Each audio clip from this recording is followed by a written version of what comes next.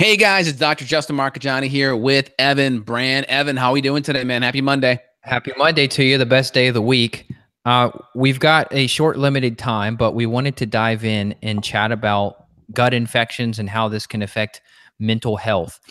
We test everyone's gut. We run a stool test on everyone, organic acids testing on everyone, or nearly everyone, as much as possible, because there's a lot of different markers that conventional doctors are never going to test. Therefore, you're never going to know what's going on unless you can get these specific functional medicine testing run. And one thing that we see a lot of is Clostridia. And so you and I were reviewing a little bit of the literature before we jumped on here that the Clostridia bacteria, oftentimes people are going to know about C. diff. You'll hear about Clostridia difficile or C. diff, very commonly spread in like nursing homes and hospitals. A lot of times it's causing diarrhea. And there's actually people dying of this because it's actually become antibiotic resistant. So if you get if you get a conventional doctor to diagnose and treat you for C. diff, it's going to be antibiotics. But the problem is these antibiotics are working very very minimally. You know, they're working I don't have a statistic, but it's not often that that they work. And then they come in with a second or a third or a fourth round of antibiotic and they still can't get rid of it. And the things that we use, whether it's silver or oregano or garlic or berberines and barberries and bearberries, there's so many different natural antibiotics out there that we can use. And people don't talk about this. So that's why we're here to talk about it. And one of the biggest things that predisposes people for C. diff, Clostridium difficile, is antibiotic exposure. I mean, I have one uh, journal article basically talking about the cumulative antibiotic exposure is the biggest risk factor for Clostridium difficile infection, CDI. So again, we know antibiotics are used kind of like candy in the conventional medical community. So, you know, the big thing that we're trying to do is like one, let's always try to do natural herbal botanicals first because number one, they have a lot of antioxidants to them. Number two, they tend to have effects that inhibit the reflux or the efflux pumps. And these efflux pumps are imagine a canoe with a hole in it, and imagine you're sitting in the canoe, you're bailing out water, right? As water comes in through the hole, you're bailing out water back out into the ocean. That's kind of what efflux pumps do. The hole in the canoe is the antimicrobial or the antibiotics coming in, and then the efflux pumps are bailing that water out. So the benefit that we have with the efflux pumps or the benefit that we have with the natural antimicrobials is we don't have that that pail bailing out the water. We don't have the critters bailing out the water. So it can take on water faster and we can essentially uh, sink the uh, canoe so to speak.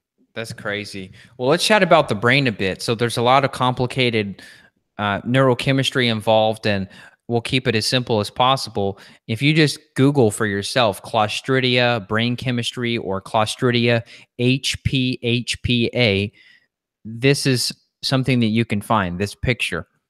And what happens is normally your neurotransmitters like tyrosine are supposed to get converted into dopa, then into dopamine. But what happens is when we pull up your stool test and your organic acids, if we see that you've got elevated HPHPA, that's an organic acid that'll show high on an OAT test, a urine test. If you have this bacterial infection, what happens is your tyrosine doesn't get converted into the dopamine like it's supposed to because there's an enzyme and Justin maybe you can clear this up too if I'm if I'm interpreting this wrong but these Clostridia species they create an enzyme it's called dopamine beta hydroxylase that causes the dopamine not to break down properly. So then all of a sudden you've got aggression and rage and irritability and schizophrenia and autism and all these other things that show up because this enzyme is cranked up due to the bacterial inf- due to the bacterial infection. Then you have excess dopamine. Then you go crazy. Is that how you interpret that whole cycle?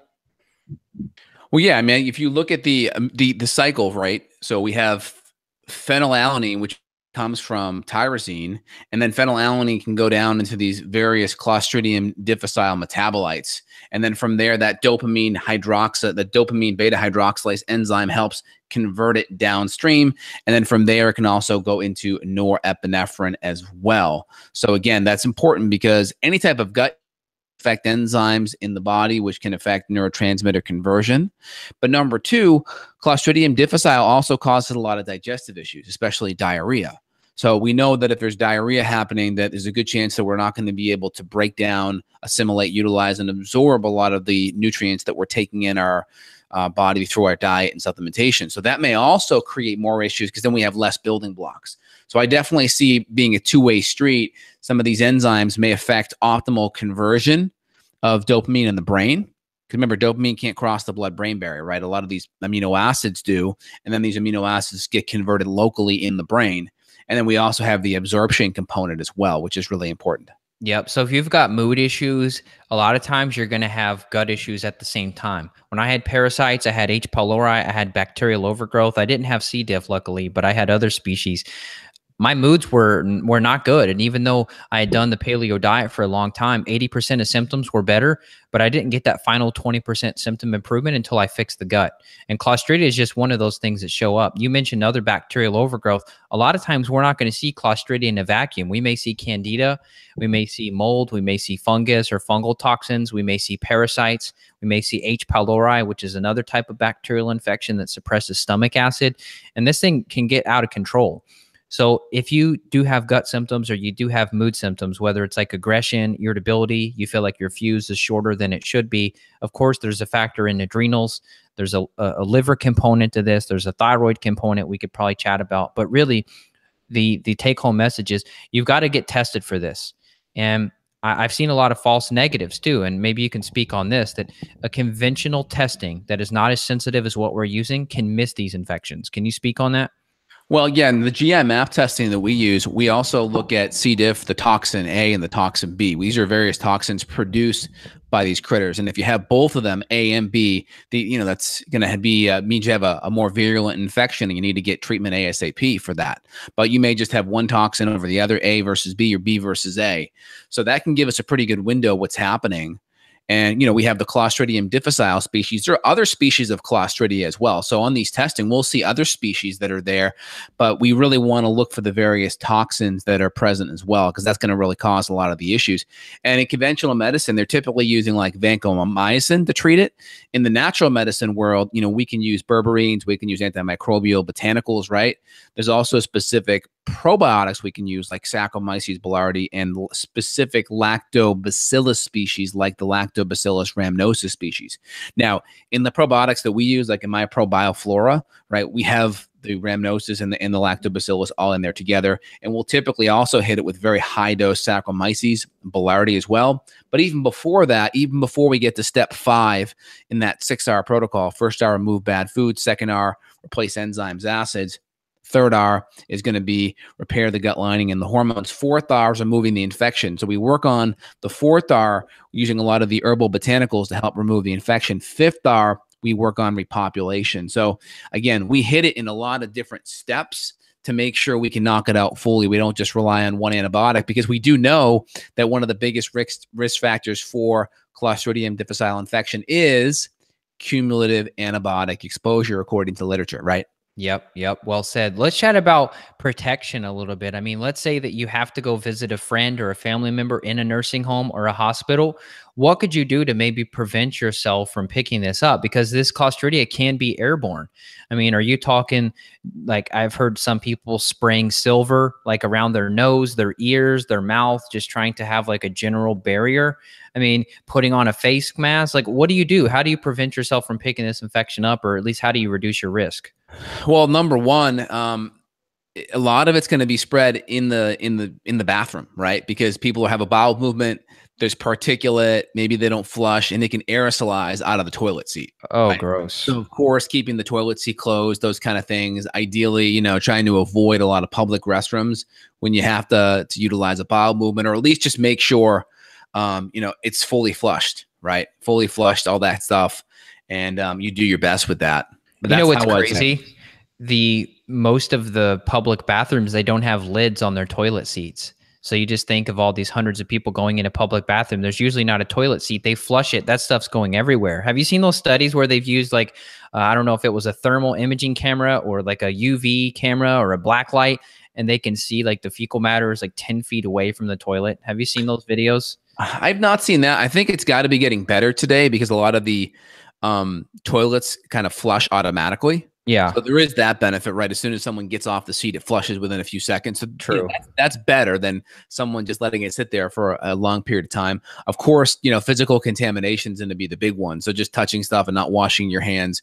I think it's good to have one of those. Um, I think it's EO EO makes one that you can get them at Whole Foods. They're kind of like a, a alcohol, herbal, essential yeah. oil kind of rub. You can get the spray or the gel. So I think it's good. Like once you're out, like just kind of do that. You know, use a little bit of that gel or that spray as well. Just because now you're out, you haven't touched anything, and that gives you a good chance of knocking that stuff down. So I have no problem with that. That's going to help significantly. Just yeah, the contact component dialed in. Yep, good advice. Because if you've got it on your hands, then maybe you scratch your nose or you touch your face or something, and then you get it into the bloodstream. Exactly. And of course, just having a stronger immune system, right? A lot of these things happen when you're immunocompromised. So when you have poor diet, when you have poor stress, when you have poor sleep, when you already have a compromised gut issue, these things can happen. So they very rarely happen just out of isolation. Um, you may have other infections, and then the C. diff an issue. You may have other infections that came about because of chronic antibiotic use, because antibiotics then cause rebound overgrowth as well. Or if you're using antibiotic I don't know, like an H. pylori infection, you're doing triple therapy, right? A lot of the other um, things that are also used outside of vancomycin are going to be proton pump inhibitors, right? But what does that create? Low stomach acid environment. That's going to set you up to not break down proteins, be able to break down fats and ionize minerals. So that creates more problems down the road, right? Yeah, well said. So if you're on an acid blocker, this conversation should perk your ears up a little bit. Pay attention because you're at a higher risk for these infections. We see it every single week between us both. We've seen thousands and thousands of gut bugs. So uh, acid blockers or uh, also birth control pills too. We know that can affect the gut microbiome a bit, and also um, yeast infections too. So if women have had yeast infections, they're going to get put on like a diflucan or a nystatin or some other pharmaceutical that could also change the microbial balance, and you get Clostridia that way. So basically, any intervention that's knocked out the good guys is going to put you at risk. You're saying, one hundred percent, and just stay out of hospitals. Really, just stay out of you know conventional hospitals. I mean, if your family member really gets sick and you have to go, totally get it, right? But if you have the ability to wait till someone's out of the hospital, wait till they're out.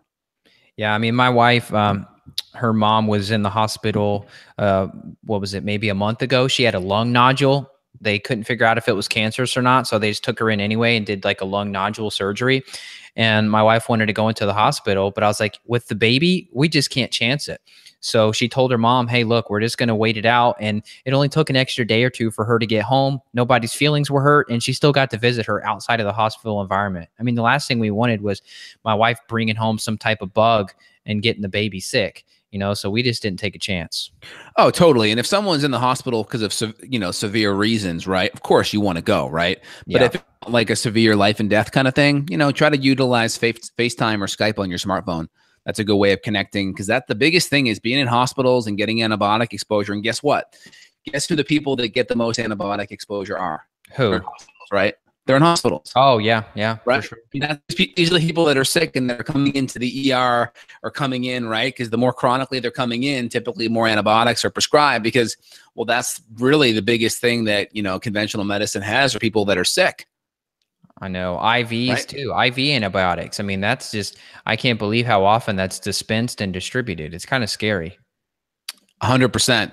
So in general, like we look at this from a functional medicine perspective, we can kind of like zoom in on one type of thing here, which is C. diff. But when we, we're looking at things, we're looking at the whole picture. So C. diff may be a part of your clinical picture if you have diarrhea or digestive issues or have leaky gut. So you may be saying, is C. diff an issue? It may be, but it may also be a combination of C. diff, H. pylori, and blastocystis hominis. So you everyone has the right to have more than one issue going on at the same time.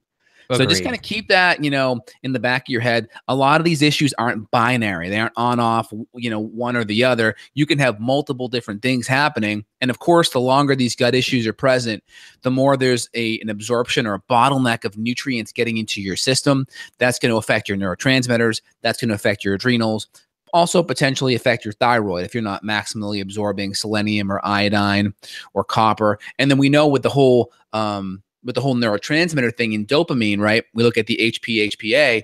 B6 is very important for dopamine metabolism. And if we have dysbiotic bacterial overgrowth, that internal production of B vitamins is going to be down, and we may not quite be able to absorb the B vitamins in our diet, partly because of the increased transit time, right? Yeah. When there's toxicity and inflammation in the gut, your colon and your intestines soak up a lot of water. Why? It's doing it to dilute the the infectious debris so it can flush it out. It's diluting it and then flushing it out. But what also diluted and flushed out is also going to be all of these micronutrients that are in your intestines that may have not had enough time to assimilate, as, absorb, and be utilized yet. Yep, well said. And then we'll give a mention here to fecal transplants. I mean, this is still kind of an ex, uh, I would say experiment slash ex. Uh, I can't even say the word, Justin. What is it? Experimental therapy. Yeah. Mhm. Um, because I'm seeing people that are getting fecal transplants, and there is cool literature that after one, if not two, maybe three at the most, fecal transplants where you're taking stool from a donor that does not have C. diff, you're transplanting that with a capsule of usually like a very, very deep frozen stool, very, very cold frozen stool in a capsule form. The C. diff infected patient swallows that. Then within one, two, or at the most three fecal transplants, the success rate is over 95% of curing C. diff.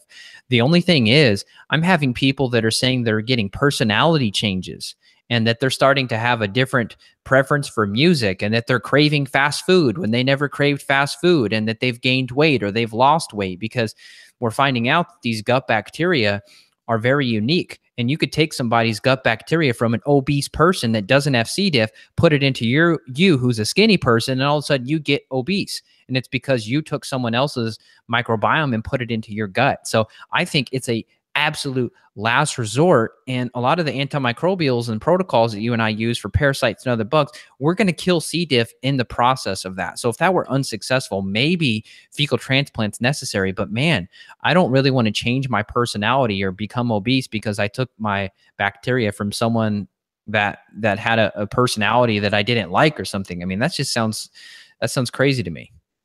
Yeah, and again, when you do a fecal implant, you know it, it's going to have effects that aren't going to be potentially forever because when you put bacteria in your gut, it tends to be more transient and pass through. You know, kind of the microbiome that you have in the beginning is kind of what you have. You can influence it and nudge it in the direction, and a lot of these things tend to be more transient. That's why you know you can't just take a probiotic once and then get the benefit forever. You're taking it, but then you're also maybe getting fermented foods in your diet, those kind of things to alter it. Maybe you're taking some probiotics, a bottle of it every quarter or so once you're doing really well and you're getting fermented food in daily. But again, I look at like a fecal implant as kind of like a palliative thing. Yeah. So if I'm seeing an improvement with symptoms and we're able to knock the infection down without having to do a whole bunch of antibiotics, I think it's beneficial. My thing is if you have C. diff and a whole bunch of other infections and you're still eating poorly or you have other food allergens in there that are causing leaky gut, I see the fecal transplant is kind of like rearranging the deck chairs on the Titanic, so to speak. It's just not quite Yeah. fixing the root cause. Better than antibiotics, in my opinion. So we'll have to just keep an eye on it and see how these things are are looking in the literature. It's the same thing with a lot of these docs that are using the Helminth or worm therapy, right? Um, they're using worms and stuff to kind of modulate the immune system. I see a lot of that as being palliative, right? If not, we'd see people in third world countries that have lots of parasitic infections and worms, you know, have super robust health, right? Obviously, they're also malnourished and have really poor water supply, but I can't imagine an infection driving and improving someone's health. I, I just, that Agreed. for me, I just have a hard time wrapping my head around it. I think it can push the immune system in one way or the other. And because let's say your immune system was on this side, maybe more TH2, and now you push it more TH1 by giving a helminth or a worm, that that can shift the immune system more to equilibrium and you feel better. I don't think it's still the root cause, but in my mind, I always like kind of look at things. Okay, we have palliative therapies that just fix symptoms, and then we have palliative therapies that are more natural with less side, side effects. Right, like so, like think of a headache. Right, palliative for headache. What's that? Magnesium, Advil. curcumin. Right. Well, palliative that's natural, Oh, okay. side effects Yeah. Yeah. curcumin, uh, magnesium, B6, right? Various, you know, rosemary, ginger, like natural palliative things without side effects. And then the other side, we have ibuprofen that kills 20,000 people a year taken properly. Yep. So I look at like palliative, and then what's the risk reward on those palliative things. So I kind of put the fecal transplant more on the safer side versus like some of these other medications that kill people taken properly. So we got a palliative safe, palliative unsafe, risk reward, and then also what's the root cause. So in functional medicine, we always delineate all three of those. Yep, well said, well said. Uh, I think we could probably make this conversation longer, but since we're out of time today, I think that was sufficient. You've got to get the diet dialed in. When we're talking to you guys, we're always assuming you're following something like a paleo template, organic pasture raised meats, organic veggies, high quality berries, maybe some nuts and seeds. If you're not on an AIP diet and you can tolerate those, you're getting to bed on time, you're getting up with the sun, you're getting exercise, adequate hydration, no sodas, no, you know, fake fructose in the diet, you're not skipping meals, you're getting your adrenals checked out, your thyroid, and then you're jumping into this conversation. So that's all the prerequisites required to to have on board before you really start diving into a gut protocol. So uh, if you want to learn more, we've got hundreds of hours of content on this. Keep looking around. Go on Justin's site, his personal site and blog, where you can also sign up for functional medicine consults. That's justinhealth.com. And if you'd like to reach out, schedule a consult with me, you could do the same thing at evanbrand.com. And make sure you hit subscribe on Justin's channel here. Keep the tribe growing and hit the bell. You'll get the notifications. And we're going to be back with you guys next Monday around the same time. So stay tuned for more. Absolutely. And just remember top symptoms for C. diff are going to be watery diarrhea, fever, loss of appetite, uh, belly pain, nausea. These are all symptoms of other kind of infections too. So, you know, it's easy for people to, to read about one thing and say, this is me, right? You see it a lot with Lyme, Lyme disease, those kind of things. So you keep that in the back of your mind. Uh, washing with hands and soap tends to be more effective than just using alcohol. Keep that in the back of your mind. If you're visiting someone in the hospital, you know, wear the full gown, get up you know, that's the same kind of gown that they would wear. People have MRSA. Wear that get up as well. So if you're going to see someone, you know, that's an extra extra level of protection as well on top of that. Anything else you want to add there, Evan? I think that's it. Get yourself tested. Like I said, reach out to one of us if you need to get some functional medicine stool testing or organic acids testing done. We look for this. We see it thousands of times a year, but there are natural solutions. So keep digging. Don't give up. And we'll talk with you guys next week. Absolutely. And then anyone that's asking questions here, try to keep it on topic. If you're going off the deep end and talking about things that we're not chatting about, save that for my daily FAQs. Um, that way I can answer you there. I may do one today. So look, I'll try to put it up in the YouTube queue so you guys can be aware of it. And someone writes in about eosinophilic gastroenteritis that could either be from severe food allergies or from other parasites. Allergies and parasites can increase eosinophils. So keep that in the back of your mind. Hey, Evan, phenomenal chat today. We'll be right back here. I'm going to do a video in a bit. I'll post it up on YouTube later on today, and I may be back later on for a live FAQ. So stay tuned. If not, Friday mornings are going to be when I do that, but look later on today. Evan, phenomenal chat, man. We'll talk real soon. Take care. Bye. Have a great Monday. Bye.